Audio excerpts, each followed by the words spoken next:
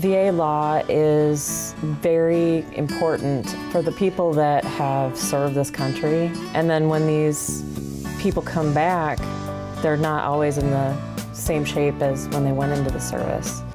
So that's when it becomes important, and that's when um, we step in and help the veterans get through that paperwork nightmare that can be the situation when they're applying for benefits. Every case is a little bit different.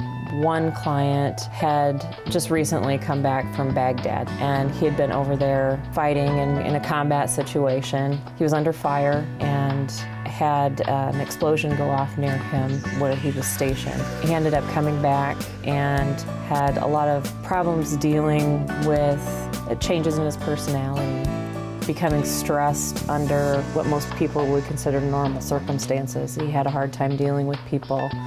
Um, our firm helped him get benefits for post-traumatic stress disorder, and we're still in the process of trying to get him service-connected benefits for the traumatic brain injury. He, he survived while he was uh, stationed in Baghdad, and to see someone that young that has done so much for this country, struggling for years just to get the benefits that he's entitled to, that's why we do what we do, because He's got enough to deal with with his health conditions and trying to keep his family together and trying to keep his life together and get it back on track.